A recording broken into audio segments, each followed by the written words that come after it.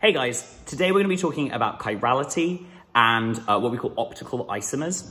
Um, these are quite difficult to explain, so I've actually got some 3D models. Um, basically, chirality is a form of stereoisomerism. Um, uh, it, it's a way of things having different three-dimensional shapes. we saw that with geometric isomerism back in when we did alkenes. But we get optical isomerism whenever something uh, is basically a mirror image of something else. It's kind of like your hands. Look here. They look the same shape, don't they? They're mirror images of each other. But actually, if you put them over the top of one another, they are not the same shape. You can't orientate this in any way so that they actually are identically the same shape. Um, that can happen with molecules as well.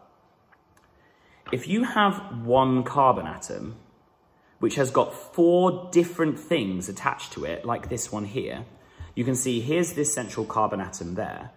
It's got an OH group attached here, um, a chlorine, a hydrogen, and a methyl group here. Then this can, this can exist as two different enantiomers, uh, two different optical isomers two different stereoisomers. Let's have a look at them. Here they are. These are mirror images of each other, but there is no way that you can spin this molecule around to make it fit the other molecule. You can get two of them to fit, but there's no way you can get both of them to do so. So these are called optical isomers. Something interesting about optical isomers is that they um, will rotate the plane of polarized light. So let's have a look at um, what that kind of looks like. Um, and what I'll do is uh, do a little uh, sketchy bit on, uh, on one of my programs and you can see um, kind of what's going on with some of the structures of uh, optical isomers. Okay, let's have a look at chirality then.